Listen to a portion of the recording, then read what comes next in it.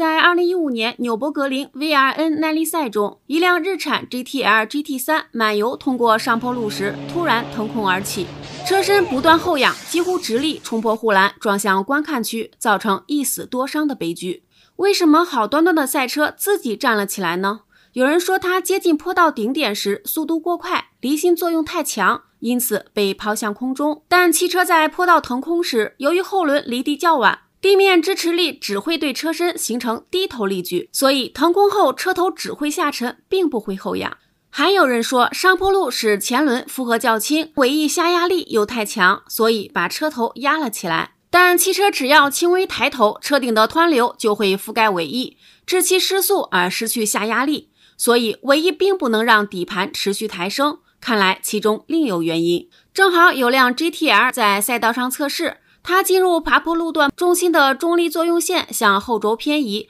导致前轮下压力减弱，后悬挂负荷增大，加上满油上坡时尾翼制造了很强的下压力，使底盘出现了较小的上仰角。来到坡道末端，路面开始出现弧度，于是底盘下方的空间变成了收敛扩张型。起初，气流会在收敛段加速，使喉部出现低压区，地面的吸力增大。但接近坡道顶点时，路面弧度越来越大，使喉道截面积进一步减小。这时，此处的空气流速就不再继续提高，而是稳定在临界速度。当喉道面积继续减小，喉部的反压开始急剧增大，收敛段压力随之提高，变成了压缩气垫，将下压力减弱，前轮抬离路面。这种现象称为气流的拥塞效应。随着底盘迎角增大，收敛段两端的面积比值就跟着增大。使气流拥塞加剧，电升压力进一步增强，将底盘持续抬升。这时，汽车到达坡道顶点，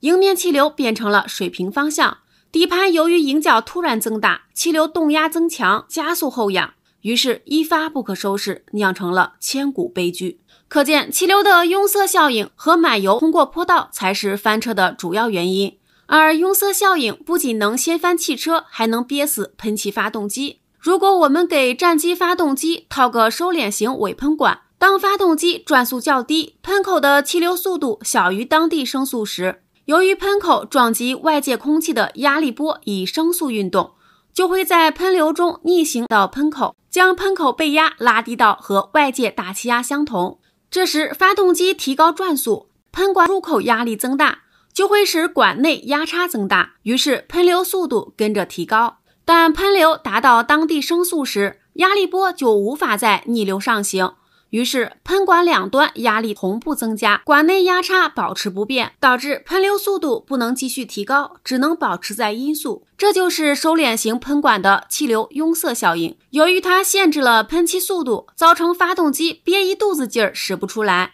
所以要换上收敛扩张型喷管，好让音速的燃气在喉部继续膨胀加速。如此看来，拥塞效应并不是什么好人。但苏联阿列克谢耶夫设计局研制的大型地效飞行器，却能利用机翼制造的拥塞效应，实现高速贴水飞行。这种地效飞行器机身修长，机腹呈浅 V 船底造型，有一副贴近水面的大弦长短翼展机翼，以及带上反角的大号梯形尾翼。它的八台电升推进发动机，安装在机头的短翼上。尾喷管通过多层嵌套铰接，可以向下偏转，提供电升和推进气流。两台辅助推进发动机后置，用于维持飞行速度。工作时，机翼后缘的四片全翼展大型机翼放下，在下翼面形成两端开口、面积比较大的气流通道。当发动机的下偏喷流已超过一定速度吹进来，便会在狭窄的排气口发生拥塞效应，排气量无法继续提高，而流道内的气压会随着航速提高而增大，形成强劲的压缩气垫，将机身拖出水面，以较低阻力高速飞行。可见，拥塞效应并非一无是处，通过合理方法趋利避害，就能变废为宝。